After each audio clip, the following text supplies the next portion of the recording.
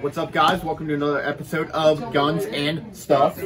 We have Roger here and me, Mike, of course. We're going to talk about a few things, getting ready for deer season coming up, and just some new hot things we got. Yeah. So we'll start off. We have some 350 Legends in. Um, these are not the only ones we have, but we're just kind of featuring them because we got a bunch Because they're very popular, and Yeah. we just got a bunch of them. So they are the Ruger American Ranch. They have 16 inch barrels, um, which is nice because as you can see, they're nice, small, little compact guns. A little Um, stubby, yeah. but they're nice. Yes. Impactful. So super light, compact. Um, AR style magazine. yeah.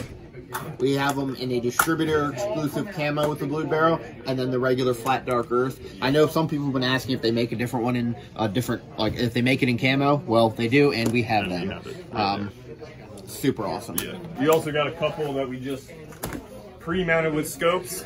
Um, just put some vortexes on there, so got a couple options for you as well. Um, what else we got, Mike?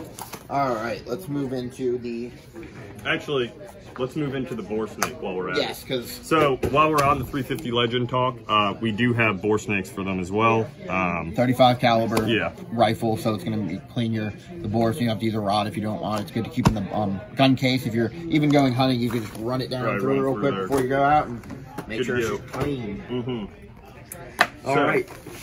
While we're on it, We have a bunch of 350 Legend ammo in stock, a bunch of variety too. So before, previously, we only had two kinds. Now we have the Federal Blue Box, Federal Non-Typical, and the Federal Fusion. So we have a bunch of different variety. So um, in different grains as well. So people know that different ammo shoots out of different guns differently. differently. It's a lot of Yeah, difference. It's a lot of difference. But yeah, but- so basically you can, you know, pick a couple, see what shoots best out of your gun. Um, Yep. Anywhere from um, 150 grain to 180 grain. We have 160, 180, 150. So we got all the different. Yep. If you prefer a power point, um, like the um, polymer tip versus a soft point, we have those. So a bunch of different kinds to give you a try. Yeah. Um, moving on, we got deer corn in, we do deer corn, um, 40 pound bag. 40 pound bags, uh, plenty of it.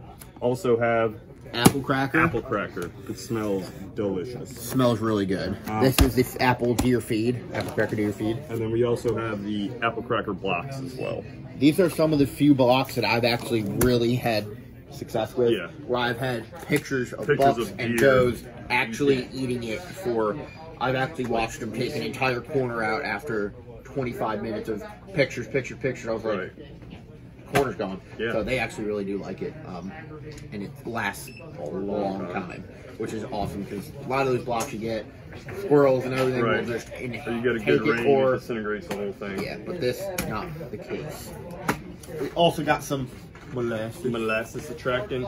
Um, you can dump this all over the block too. Yes. That helps. Um, Another thing I've done that works really well: get a um, hang it from a tree, just like that. Poke a hole in the bottom, a small pinhole, and it will just drip out very slowly. Especially in the winter when it gets a little bit colder. Not when it gets like freezing temperatures, because then it will freeze. But this it works really, from this time until you it know, starts to get freezing temperatures. Yeah, you're good it's a really smart idea. That way it just drips slowly and you get the constant. So you have to go out and keep putting it out. It's constantly there. Yeah. So, All right. Last but not least, Mike. Sika Seducer. The Sika Rut is coming up um, towards the end of September uh, because bow season does start the 11th of this month. And going on, you got the uh, Sika Deer Rut. Sika Seducer, Doug Wigfield, Sika Seducer. The great thing about this, comes with a CD. So if you're driving down to Dorchester, pop that in your um, CD player, listen to it on the way down. Right, gives a yep, gives he gives great demonstration on how to do the mew and the whistle.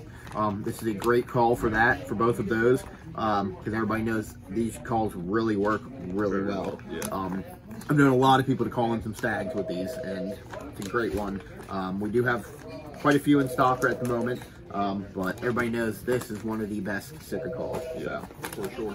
Definitely come on in. Um, get some some molasses. Get in- some molasses, and a some 350 deer Legend. corn, 350 legend. all at it all. once. Yeah. Pick up some ammo.